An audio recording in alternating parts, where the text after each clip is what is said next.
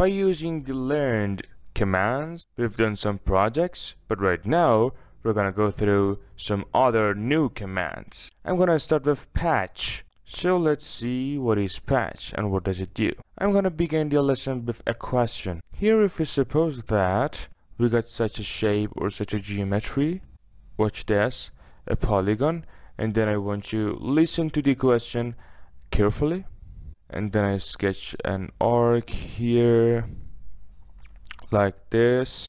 And when I'm talking about an example look at the process of sketching the example attentively since it can be reviewed so I hold down control for sketching the vertical line.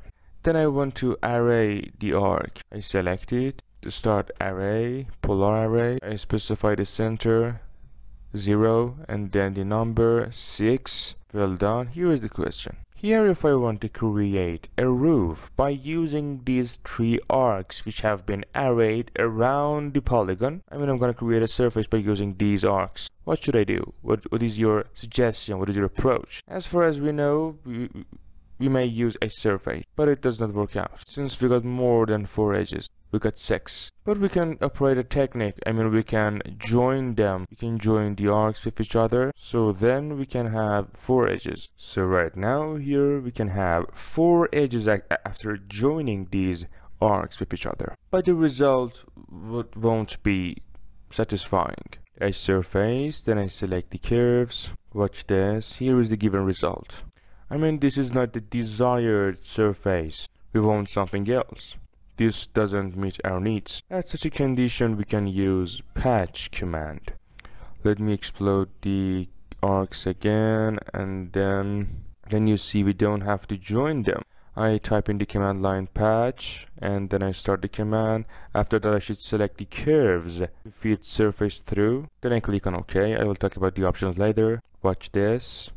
Here is a regular smooth surface created by patch. But here you may want to modify the curveness or the sharpness of the curve. But as we're concerned in the command of edge surface, we can't control the curveness of a surface. But in patch, there's no limitation. We can modify them. Actually, by adding some auxiliary lines, so then we can control the curveness. For instance, here I sketch a line here by this way as the auxiliary line. As I told you before, at first we sketch it straightly, then we curve it. Watch this. It affects on the curvedness of the surface. Then I'm gonna array it.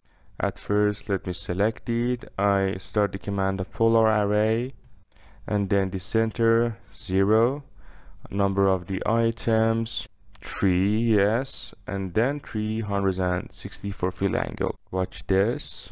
These are the main frame of our patch.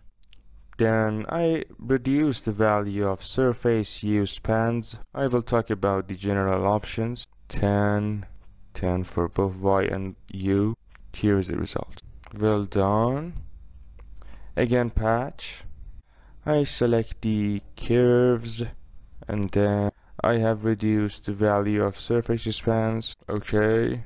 Here's the given result and then the rendered preview. No, this is an accepted surface created by patch, which is more practical than edge surface. Here if I sketch a closed non-planar curve, how can we convert it to a surface or to a solid or extrude it? As you can see, it is non-planar by this way its surface does not work out on this, doesn't support this. As such a condition, we can use patch. Watch this. Well done. In a very simple process, we can create a surface by the non-planar closed curve. Two curves like this, by this way. And let me sketch a circle here, by this way. By doing this example, I'm gonna show you there is no limitation in creating surfaces by patch. As you can see here we got three curves, three closed curves. Let's check out the result. I select them, patch. Let me increase the surface spans. Okay, check it out. As you can see, the other curves, for example the circles, has got some effects on the patch. Or for instance, suppose that we got a geometry like this. Let me extend it by this way. And then if I patch this, then this is the result. Check this out. So, but I'm gonna add some lines. Check this out by this way. I sketch some straight lines. I mean, these are the auxiliary lines that can we use these lines for creating specific geometries or surfaces. I move the control points upwards or downwards. As you can see, I'm designing the surface because there is no limitation in patch by this way. Then I start patch. Okay, check this out. And here is the result, like a sink. Or in the next example, patch can also work with the points. I move this line to exemplify the next case. Then I put two points inside the curve. Then we're gonna see what will be the, the function of patch with these points. Or what is the reaction patch. Then I create a surface, check this out. As you can see the points are the two extremes of the surface. But this time if I enable record history, as I talked about it before, do you remember? In blend actually, blend curve, I enable record history and then I patch the surface in order to save the points and the line. Then I can select the control point or point and then move it or even move it upwards. Can easily control the surface or down.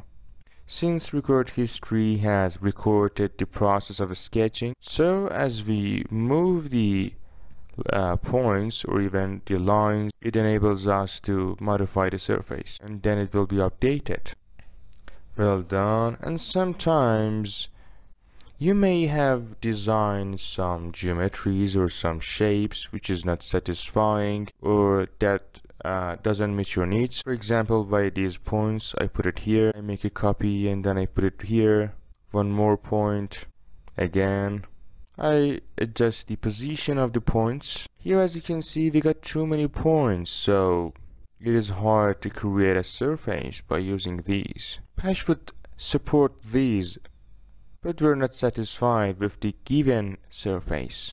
Let me modify the position of the points to give you another example. I remove the points and then I work on the curve. Then by the polyline I wanna design a strange form by this way. Then I move this downwards or the another one up. Now there is too much distance between them. Now by giving this example I wanna convey this message that patch does work out at any condition. It has no limitation but the given geometry should meet our needs. And like this, if we do not design the curves of the patch or adjust the position of the points correctly or accurately, then the result won't be satisfying. As you can see, it is not practical. So we should sketch the curves of the patch accurately. Anyway, uh, in the continuation I'm gonna talk about the general options or the settings of the patch. I mean I'm talking about a span. I create some copies from these curves and then I'm gonna give you some examples to show you the changes. When we create surfaces by patch like these here in the patch surface options we got some settings. One of them is surface u and y spans but sample point spacing does not matter no it is not important. For example I set 2 for U spans, it is a low value or 2 for Y spans, or V actually. Let's check out the result. So all in all, we understood that the U and V spans are effective in a in creating a surface. Let us try the next curve. I use patch, but this time I set 5 for both surface V span V and U. Here as you can see the surface is more acceptable but this time I wanna specify a higher value for example 70 for both. It takes a time since the size is large. Wait for a second. Check this out. Could you tell the differences? Let us compare them with each other. These two Clearly here we got more isolines or isocurves. But I'm talking about the effects on the form or the geometry of the surface. Here as you can see, when we increase the spans, the value of spans, the created surface is more close to the curves, the created curve. I mean it is created more accurately based on the given uh, frame or curves. Let me give you another example on these so we can understand it deeply. Start patch. Let me hide these geometries so we can focus on these patch. I select the curves then enter. 3 for U and V span. Okay watch this. Here is the value is 3 and then for the next one next one I set 15 okay check this out. Let's check out the effects and the form of the geometry or the surface. Watch this. And for the third one I set uh, unreasonable value like 70 that we do not usually set. Wait for a second. Well done. Watch this. Rendered pre preview. Let us compare these three. Here the span value for the first one is 3. As you can see the surface is not uh, that much based on the given lines or curves. You know there is a distance. While um, in the second one in the second surface this surface is matched with the curves so there are some ups and downs on the surface and we also got them in the third one so as we increase the value the surface grows smoother and matched with the curves and we usually specify you know a value between 10 to 15 which is considered as a reasonable value for these spans but let's talk about the other options. So let me start the command of patch then I select these curves I press down enter. So we talked about the surface spans I set it to 10 by this way well done here there is an important option which is automatic trim. You should know that patch gives us trimmed surfaces. And when I check automatic trim option, it trims the surfaces automatically. I mean it trims the rectangular surface and then creates the patch. But how? I mean if I select these curves and then I patch it. And I uncheck automatic trim. Then it gives us an untrimmed surface. It gives us the rectangular surface. Check this out which is not trimmed.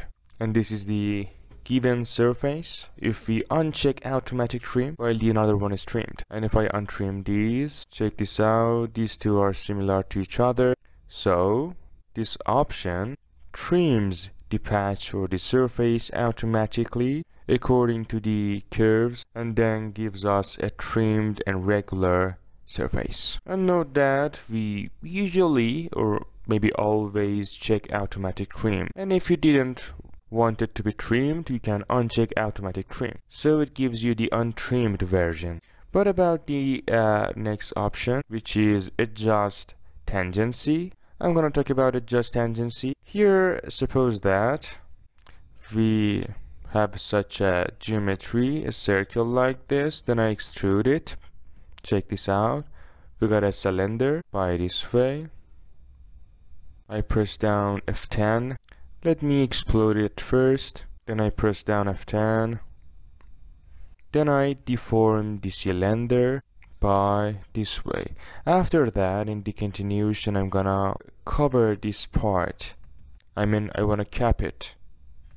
I want to cover the uh, top surface or top face. We can use a surface, but I'm gonna give it a try by using patch. I start the command of patch, then I select the edges, I press down enter. Here if I check preview, check this out, the preview of the surface. But if I check adjust tangency and then check the preview, look, as you can see the edges of the surface are tangent to the edges of the cylinder. This is what adjust tangency do or does. I mean it models the surface in a manner that it will be tangent to the uh, solid. Here if I click on OK in the rendered preview, check this out. Here we can distinguish these two objects, the surface and the cylinder. It seems that the two are unified. And you know, it's sometimes being used and later we will consider it in the projects.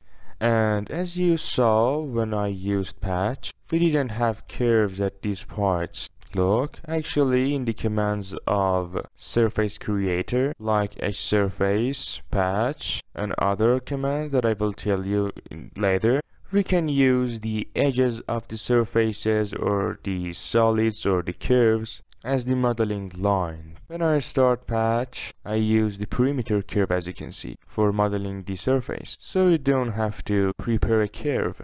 But let us wrap up it the session when we use patch firstly when we have a closed unplanar curve like this I move the control points almost I should say that the only approach is using patch at such a condition therefore closed planar curves I mean non-planar curves the only approach is using patch this was the first application of patch closed non-planar curves secondly you may want to create a surface out of more than four edges. That edge surface does not support it. Like this example, check this out in which we got more than four edges. However, it might be non-planar. But here as you can see, we got nearly five or six edges. Right now the geometry here is planar but I want to make it non-planar by this way. I move the points. Then at this situation we can use patch. So this is the second application of patch in which we got more than five edges. I mean more than four for creating a surface. That as I told you before you can use the auxil I'm sorry, the auxiliary lines to reach to your desired shape of your surface. Check this out and move it downwards. Then I start patch. So firstly in the closed non-planar curves and then secondly in the geometries in which we got more than four edges and thirdly in the condition that we can create our surface by using edge surface we can't obtain our desired curve or the curved surface. Let me give you an example. Check this out. Here as you can see we got a four edges geometry. We got four open curves. So we can create our surface by using edge surface. We don't need to use patch. But I'm looking for a specific curved surface. That edge surface is not capable of it. By this way. So at such a condition I can use patch.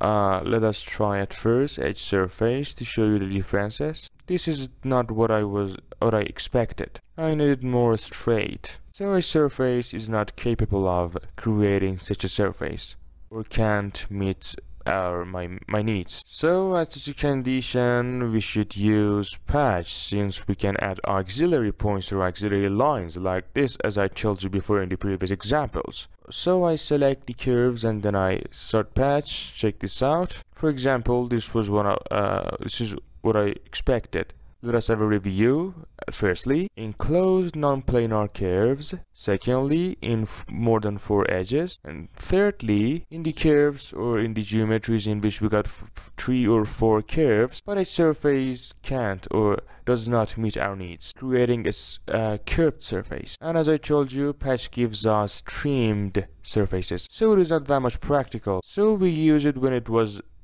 essential or necessary because we preferably used untrimmed surfaces. So we use patch when it only when it was essential. For example, if I show the control point of these surfaces, check this out.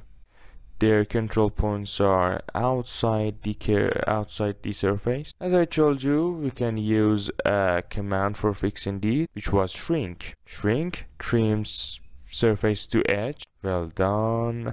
Let's check them out. They are better now from you know, better than before. Well done. Right now here if I untrim these surfaces, let's check it out. They return to their origin which is a rectangular surface. Since these surfaces are trimmed surfaces, which are created by patch. And as I told you before, in some of the commands like twin surface, I start the command of twin surface.